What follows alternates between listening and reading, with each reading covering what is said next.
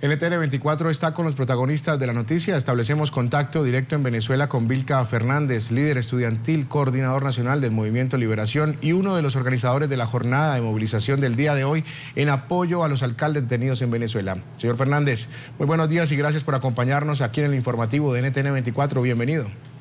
bueno, un saludo a ustedes, un gusto de verdad y muchísimas gracias por, por a pesar del, del trato que les ha dado el reino venezolano seguir siempre pendiente de lo que ocurre acá.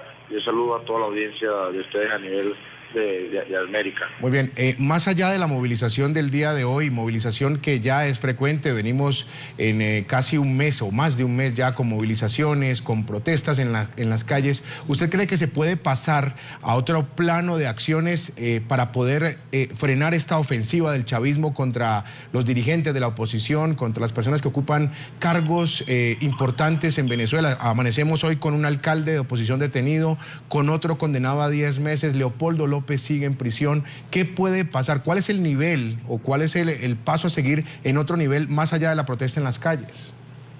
No, mira, definitivamente eh, lo, que, lo, que ha hecho, lo que ha hecho eh, la dictadura de Nicolás Maduro en las últimas horas es algo aberrante.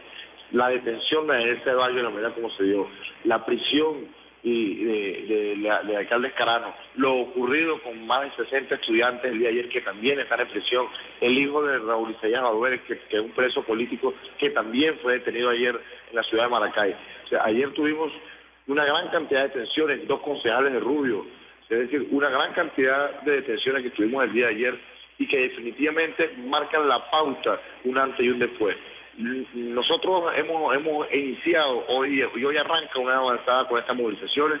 Estamos llamando a todo el pueblo venezolano, a todos los a todos los sectores, inclusive la unidad democrática se ha sumado a esta gran movilización el día de hoy, que va a ser el inicio de una gran cantidad de movilizaciones, porque definitivamente ya lo que hay en Venezuela es una dictadura declarada y una persecución contra todos aquellos que diferimos, contra todos aquellos que luchamos por una mejor calidad de vida, por una democracia y por libertad. ¿Qué viene ahora? Viene grandes movilizaciones, viene una permanencia y una movilización de calle en cada uno de los estados.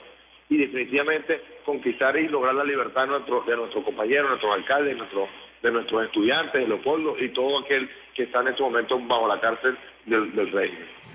Eh, señor Fernández, en entrevista que dio días atrás el alcalde Ceballos justamente a NTN 24 sobre si temía ser detenido, él dijo claramente que Maduro puede detener a todos los alcaldes de la oposición, a todas las personas de la oposición, pero esto no va a devolver al pueblo venezolano la harina, el papel, el aceite. Yo le pregunto a usted si, si, creen que estas medidas eh, pueden ser tomadas como una estrategia del gobierno para debilitar quizás a la oposición y preguntarle también si lo logra. No, definitivamente, definitivamente lo que, lo, que Daniel decía el día atrás es una realidad. La detención, la persecución no va a resolver los problemas sociales, económicos y políticos que tiene el país.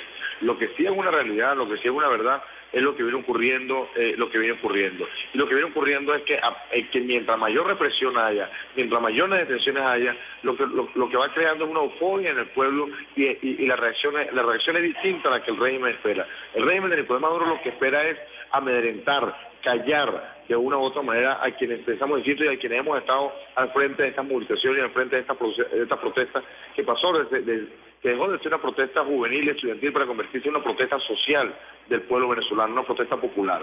Y, en ese sentido, el bien lo decía Ceballos, no solo pueden detener a todos los alcaldes, sino que pueden detener a todos los, a, todos los líderes estudiantiles, a diferentes políticos, pero aún así no van a resolver el problema social y político del país. Y lo que están logrando y lo que han logrado es que cada día sean más y más los venezolanos que están en la calle, que cada día sean más y más los venezolanos que estén convencidos de que en Venezuela hay un, hay un cercenamiento de las libertades, que en Venezuela definitivamente se vive una dictadura y que con esta dictadura que hoy tenemos acá no queda otra que la insurrección, eh, la insurrección a la misma y convertirse en luchadores de calle, luchadores por la libertad y por la democracia. Sí, ahora... El hilo constitucional. Señor Fernández, siguiendo un poco con la pregunta que le hacía mi compañera Ruth, el, ¿ustedes, en, ¿ustedes en la oposición están unidos? ¿Hay esa, ¿Están proyectando esa imagen de unidad? Señor Fernández. Sí, aquí estoy. Le, decía que continuando un poco en la línea de la pregunta de mi compañera Ruth, eh, yo le quiero preguntar por la unidad dentro de la oposición. ¿Están ustedes en la oposición verdaderamente unidos? Mira, definitivamente eh, para nadie es un secreto que han habido grandes diferencias en los últimos meses, pero con las, con las acciones, con las últimas acciones que ha, ha, cometido Nicolás Maduro y, el régimen en general, eh, definitivamente han logrado nuevamente unificar a una oposición que, que traía series diferentes con las acciones y con, las acciones que veníamos llevando en los últimos meses.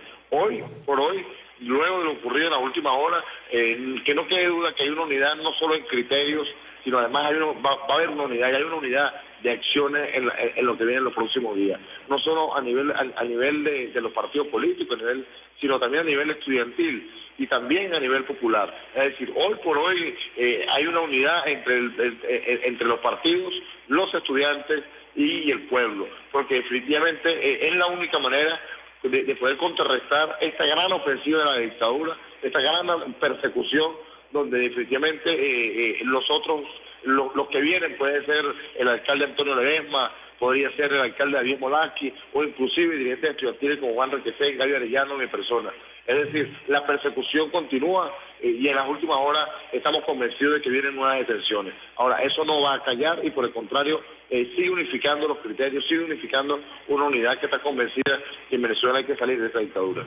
Vamos a agradecer Vilma Vilca Fernández, él es líder estudiantil, coordinador nacional del Movimiento de Liberación y uno de los organizadores de la jornada de movilizaciones del día de hoy en apoyo a los alcaldes detenidos en Venezuela. Un buen día para usted, gracias por haber estado con nosotros. Muchas gracias a ustedes.